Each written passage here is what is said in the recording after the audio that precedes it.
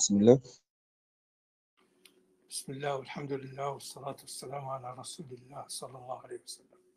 مدارج السالكين في منازل السائرين تأليف الإمام أبي عبد الله محمد بن أبي بكر بن أيوب بن قيم الجوزية رحمه الله. فصل الصنف الثالث. الذين دعموا زعموا أن فائدة العبادة رياضة النفوس واستعدادها استعدادها لفائدة العلوم عليها وخروج قواها عن قوى النفوس السبعية أيوه نعم نعم يعني ان تكون نفوسهم ليست كنفوس السباع. هذا هو المقصود بها السبعية يعني نفوس السباع. إيه نعم. نعيد من البداية فضيلتك. الصنف الثالث الذين زعموا أن فائدة أن فائدة العبادة رياضة النفوس واستعدادها لفرض العلوم وخروج قواها عن قوى النفوس السبعية والبهيمية. فلو عطلت عن العبادات لكانت من جنس نفوس السباع والبهائم. فالعبادات فالعبادات تخرجها عن مألوفها مألوفها وعوائدها وتنقلها إلى مشابهة العقول المجردة وتصير عالمة قابلة لنقاش صور العلوم والمعارف فيها. وهنا وهذا تقوله تقوله طائفتان.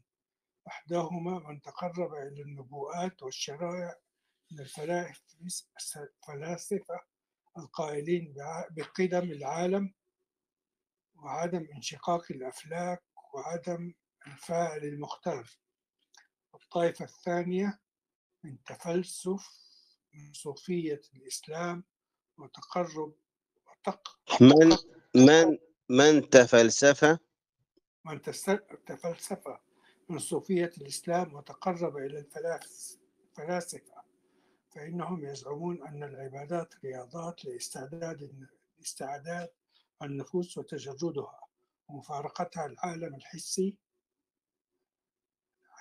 الحسي ونزول الواردات والمعارف عليها.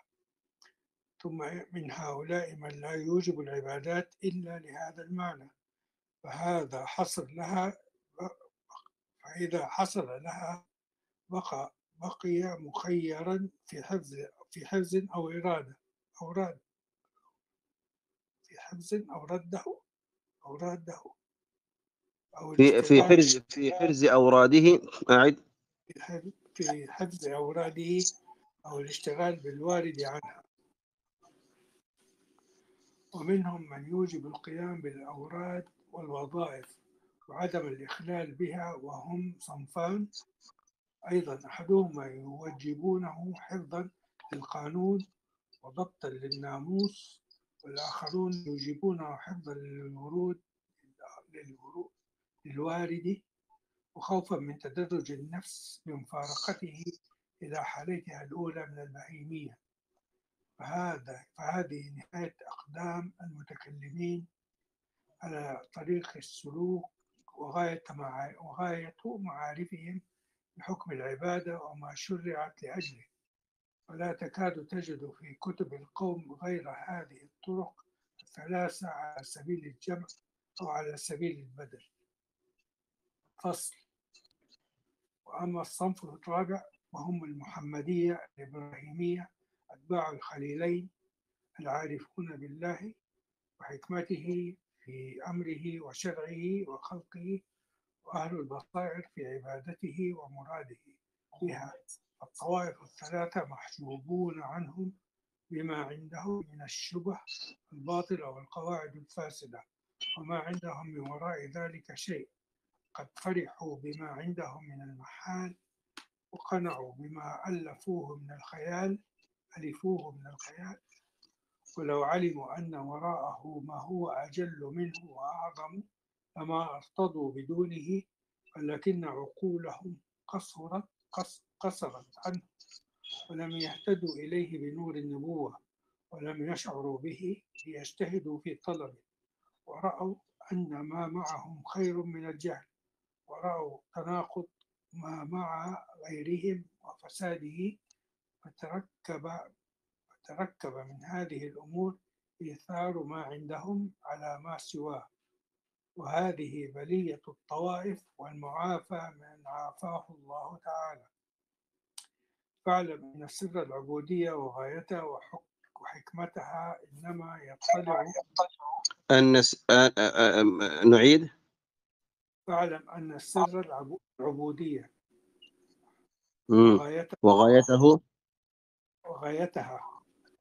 أيوة وحكمتها نعم. إنما يطلع عليه من عرف صفات الرب صفات الرب تعالى ولم يعطلها وعرف معنى الألوهية الإلهية وحقيقتها ومعنى كونه إلها بل هو الإله الحق وكل إله سواه فباطل بل أبطل الباطل وأن حقيقة الإلهية لا تنبغي إلا له. وأن العبادة موجب إلهيته وآثارها ومقتضاها وارتباطها بها كارتباط متعلق متعلق الصفات بالصفات كارتباط المعلوم نعيد نعيد هذه الجملة الأخيرة. وأن حقيقة الإله ينبغي إلا له العبادة موجب موجب إلهيته موجب وأن العبادة موجب إلهيته نعم. ومقتضاها ارتباطها به بها كارتباط المتعلق بالصفات آه. الصفات ارتباط المعلوم بالعلم والمقدور بالقدرة والأصوات بالسمع والإحسان بالرحمة والعطاء بالجود. ومن أنكر حقيقة الإلهية ولم يعرفها كيف يستقيم له معرفة حكمة, العبادات وغايتها ومقاصدها وما شرعت آه، عندكم بال- بال- بالمفرد وغايتها ولا وغاياتها؟ وغاياتها مم. غاياتها ومقاصدها وما شرعت شرعت لأجله.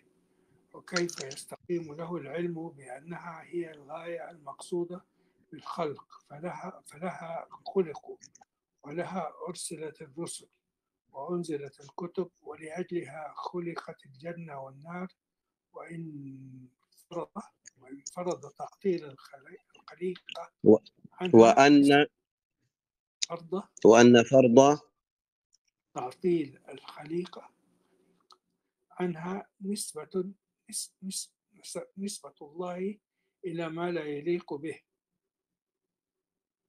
ويتعالى نسبة نسبة الله ولا نسبة لله؟ نسبة الله. مم. طيب. بعض النسخ يقولونها بالإضافة. نسبة الله إلى ما لا يقوم نعم صحيح كلها صحيح؟ نعم.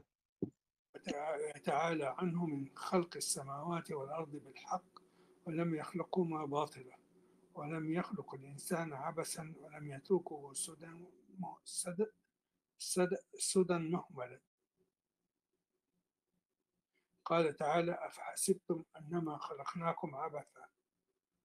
أي لغير شيء ولا حكمة ولا لعباداتكم ولا لعباداتكم لي ومجازاتي لكم.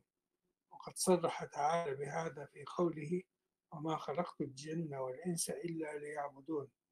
فالعبادة هي الغاية التي خلق لها الجن والإنس والخلائق والخلائق كلها. والخلائق والخلائق كلها. آه، والخلائق كلها. لا نعيد نعيد نعيد من من قوله فالعبادة هي؟ العبادة هي الغاية التي خلق خلق لها الجن خلق لها الجن والإنس أيوة. يا سلام. نعم.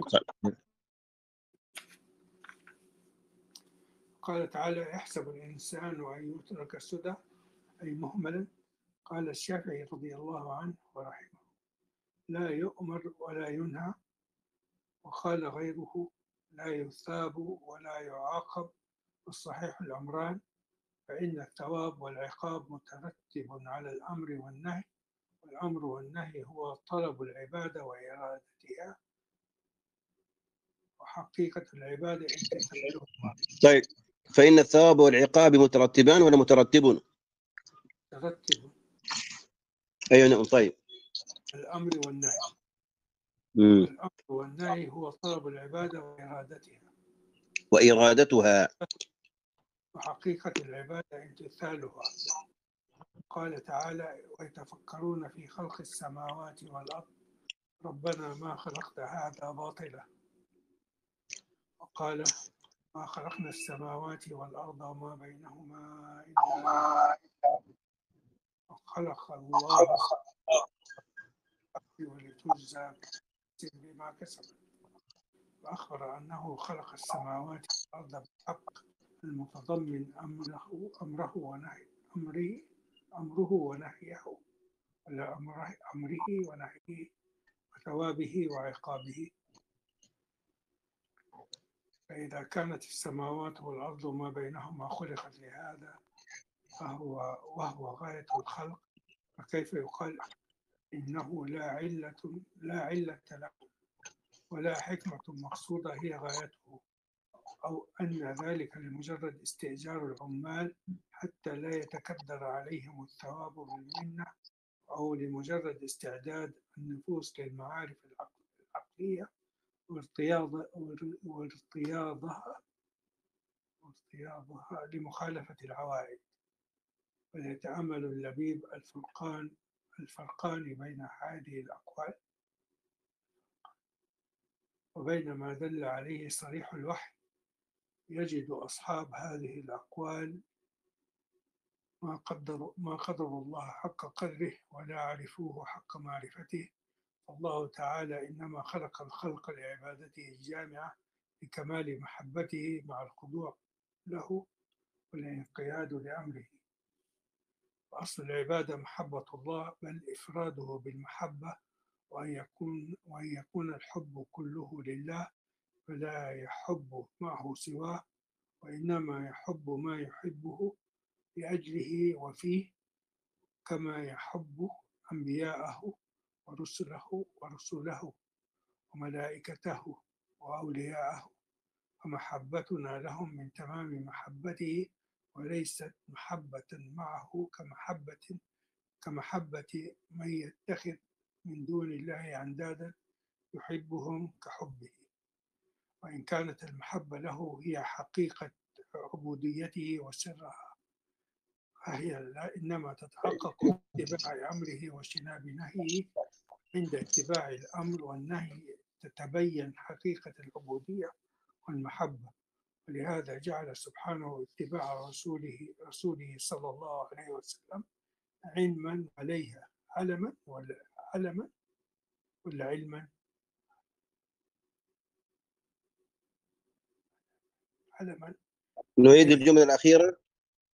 لهذا جعل سبحانه اتباع رسوله صلى الله عليه وسلم علما عليها. أيوة علما عليها.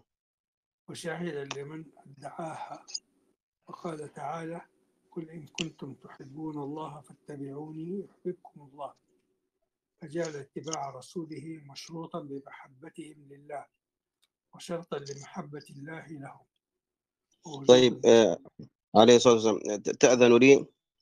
آه الوالدة الآن في ال- في المستشفى وستجرى لها عملية و أيوة، واتصلوا بي فلا بد أن أنا يعني أستأذنكم ولا تنسوا في دعائكم. الله يرضى عليكم. نسأل الله أن يمن عليها بالشفاء الله يشفيها ويعافيها. آمين. سامحونا كثيرا الله يرضى عليكم صلى الله عليه وسلم. وصحبه وسلم جزاكم الله خير السلام